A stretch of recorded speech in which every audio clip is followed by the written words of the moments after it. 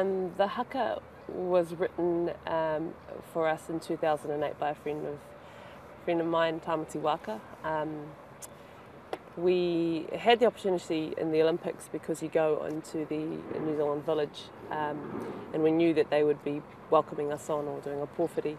Um, so it was appropriate for us to try and have a response. Um, so I taught them a song, but then I also got a haka written for us um, to do as well. So ever since 2008, we've been um, we've been using that haka, and it was actually now a Football Ferns haka.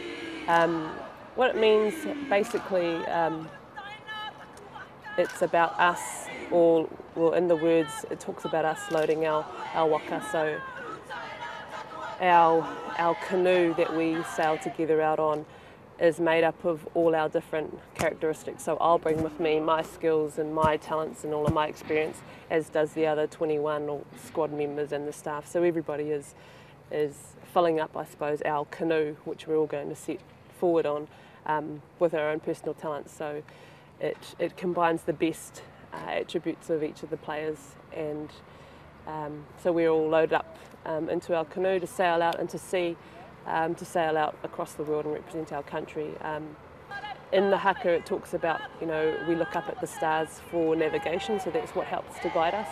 And although we may be miles away from home, there's, you know, we still have the common place of the sky, and um, people at home can still look up. So we, we kind of feel connected and, and we gain strength from that.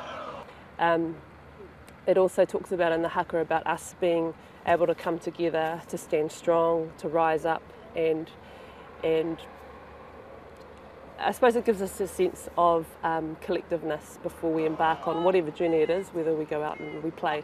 I mean, for us, it is about playing. So, we, the first thing we always do is, is to make sure that we're tight before we go and embark in any in any challenge. And the the last part of the haka really is about a challenge to our opposition. Um, I think people have different different perspectives of what they think the haka is about, but for us it's about um, it's about a challenge, but also with respect. So we're not disrespecting who we are, um, who we are playing against. We're saying we're here, and we, you know, we challenge you, but we also respect you as well. So that's that's really what the haka is about. And at times, um, when we get the opportunity to do it before our games, we do it. Um, but you know, who knows when when we might crack it out during the World during the World Cup.